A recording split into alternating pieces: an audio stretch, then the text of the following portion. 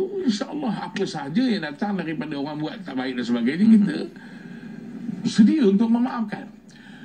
Pernah berlaku ni Ustaz Anas ya. Satu kisah berlaku di kalau tak silap di Mekah Salafus Saleh. Hmm. Dia keluar daripada Masjidil Haram kasutnya hilang. Allah. Hmm. Ini cerita lama lah Bukan cerita yang baru ni Kadang tersiar tak ni masalah Saya ni. pun pernah hilang kasut? Kadang-kadang tersiar tak lah. Nombor tu lah dapat mana-mana begini kan. Ah, Bukan hilang pun Orang tak curi pun. Tapi yang ni betul-betul hilang. Mhm. Dicuri Diambil oleh orang lain. Menangis dia.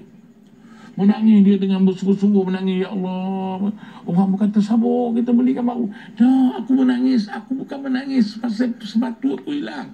Aku menangis kerana aku kesiankan dia nak cari aku di akhirat esok. Allah. Oh, dia punya iman macam mana tuan-tuan eh.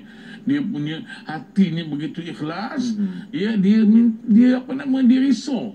Dia sangat bimbang orang yang mengambil hak dia itu akan mencari-cari dia di yaumul mahsyar yang orang begitu ramai yang tak tahu nak cari macam mana Betul. kan. Subhanallah. Itu. Jadi mudah-mudahan Hmm. kita pelan-pelan eh, kita didik jiwa kita, kita didik hati kita ya Allah, aku tidak kuat ya Allah tolong aku ya Allah tolong aku. Hmm. Kita sebenarnya sama siapa sahaja sana memang balik pada Tuhan. Betul. Allah. Tanpa kekuatan, tanpa Tuhan memberikan kita, tanpa Allah memberikan kita kekuatan, kita tak mampu. Betul.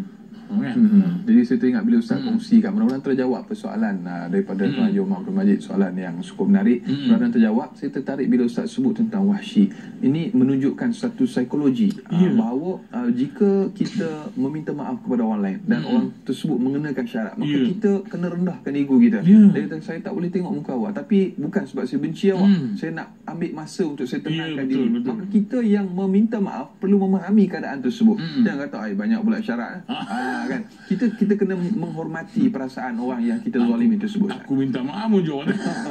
Allahu akbar. Ni ego Ustaz. Ni ego, ego. Betul, salah. InsyaAllah dan berikutnya Ustaz dan juga sidang penonton kita raikan lagi soalan daripada sahabat Facebook kita uh, Mas Ripah Nur Jamain yang bertanya Assalamualaikum Ustaz saya da'i Assalamualaikum warahmatullahi Setiap manusia tidak pernah lari daripada melakukan kesilapan dan kesalahan. Adakah kita perlu membuang perasaan malu untuk memohon maaf pada orang yang pernah kita sakiti, fitnah dan sebagainya. Mohon pencerahan daripada Ustaz biar tahu jangan keliru Ustaz. Allahu Akbar nak buang perasaan tu Ustaz.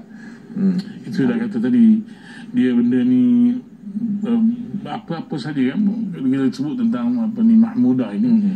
dia tu sebab kalau kita tengok dalam uh, kajian ulama kan ulama ulama tasawuf ulama ul akhlak ini dia akan mulakan dengan penulisan dia dengan hati. Hmm. jantung hati kalau penawar bagi hati oleh Syekh Abdul Qadir bin Talib Al-Manili itu jantung hati kan? Jantung hati mana jantung hati itu hati yang uh, apa nama hakikat kepada hati. Dia akan bincangkan masalah hati dulu. Sebab apa? Imam Al-Ghazali rahimahullah Imam apa nama Muhammad uh, Al-Ghazali apa ni Hujjatul Islam berkatulah Al-Ghazali rahimahullah juga bawa persoalan hati. Kan apa persoalan ini membentuk benda ini dia akan menghilangkan perasaan-perasaan yang uh, yang ditanya oleh oleh sahabat-sahabat kita tadi kan? Oleh saudara kita tu. Maknanya dengan kita didik jiwa kita eh, kita buang sikap tu ya Allah aku minta lah ya kita kita istiqamah.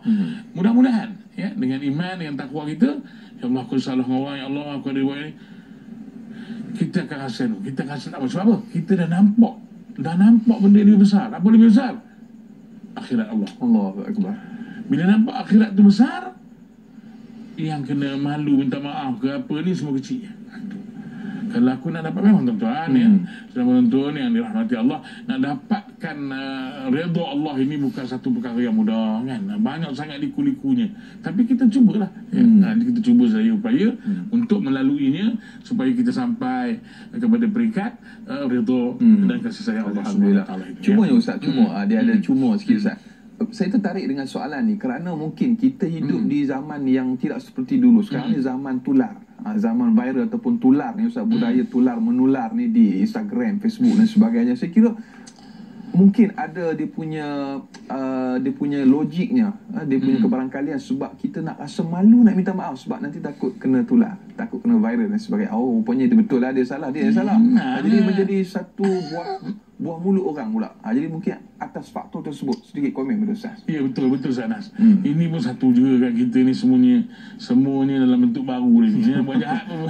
Allahu akbar. Eh, maknanya Masya banyak Allah. betul eh, nak mengumpat nak apa semua semua dalam Yang bentuk tak elok yang tu lah yang Ustaz. tak elok yang tak elok betul yang elok selalunya orang Diamkan ah, aja. tu heran Allahu eh. Ha, itu yang kita pun heran tak apalah benda tu kita pun faham kan ini itulah kehidupan dunia kan mana kalau tidak tidaklah nama dunia Betul. tidaklah ada surga dan neraka Allahu eh, macam mana jadi begitulah Cabaran jadi, ah, cabaran.